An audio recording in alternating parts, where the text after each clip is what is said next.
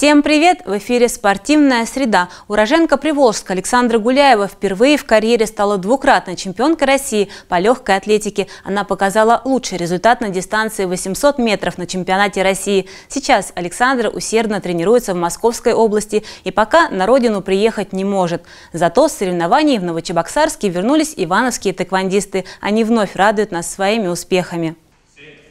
Ивановцы Илья Данилов и Ярослав Черкасов завоевали высокие награды на летней спартакиаде учащихся России по тэквондо. У Ярослава – серебро, у Ильи – золото. На турнире собрались лучшие в своем регионе спортсмены. Я провел три боя, где я одержал в двух досрочную победу, а в третьем уже был бой равный.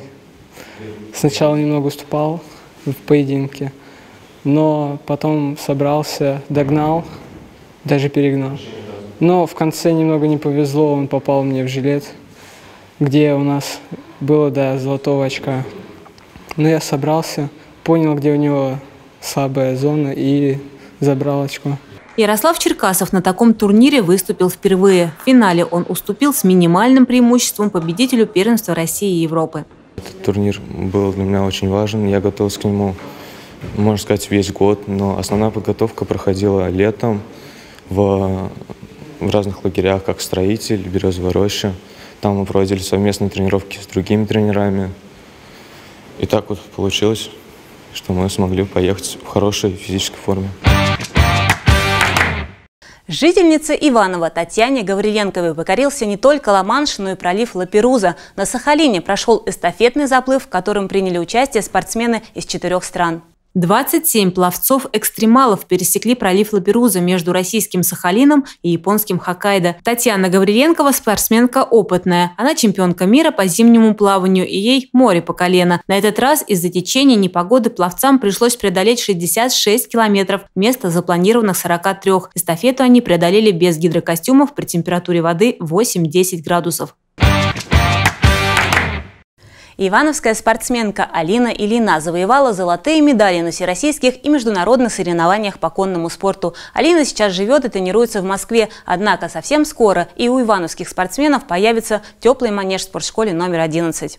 На территории манежа уже начался первый этап ремонтных работ. Всего их будет четыре. Сейчас стоит задача нарастить стены и заменить кровлю, чтобы она соответствовала всем нормам и требованиям безопасности. Следующим этапом это будет укрепление э, и, соответственно, утепление данной кровли, чтобы можно было организовывать занятия и тренировочный процесс, э, в том числе и в поздней осенью, ранней весной, ну и в зимний период времени, естественно.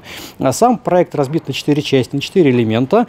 Общая стоимость финансирования проекта предусматривает выделение денежных средств средств в размере 18 миллионов рублей. Мы предполагаем, что в течение 5-4 лет данный вопрос будет закрыт. Сейчас спортшкола номер 11 – единственное муниципальное учреждение в Иванове, где ведутся занятия по конному спорту для детей и подростков на бесплатной основе. Здесь занимаются 240 человек. Это не только конкуры и выездка, но и адаптивная физическая культура. Делаем будем пристроечку вот с другой стороны наращивать. Там уже с проходной, с вахтой, с доступной средой для инвалидов. Э, манеж будет отапливаемый, появятся дополнительные раздевалки, тренерская. В общем, ну, очень большие изменения будут. Э, отопление, освещение поменяется в общем, водопровод. В новых условиях дети смогут тренироваться круглогодично, вне зависимости от температуры за окном. Ведь до настоящего времени при минус 16 тренировки приходилось отменять. Продолжаем знакомить вас с новичками команды «Текстильщик». На этот раз речь пойдет о полузащитнике Максиме Батове. Максим Батов из Перми. В детстве, как и многие ребята, занялся борьбой, но потом родители записали в футбольную секцию. Тренировки не бросил. Напротив, стал усиленно заниматься. Видя успехи сына, родители приняли решение ехать в Санкт-Петербург. В 13 лет меня родители отвезли, они за меня переехали. И, и вот там уже пошло-поехало. И молодежный состав, и выше там получалось. Спасибо родителям своим. Очень благодарен. Теперь Максим посвящает футболу большую часть времени. Говорит, что в новый коллектив влился хорошо и готов к работе. Очень важно, что остался костяк команды, который вышел э, в первую лигу. Э, и всех, всех новичков приняли хорошо. У нас рабочая установка. И э, конкурируем вместе между собой и дружеские отношения за полем, естественно.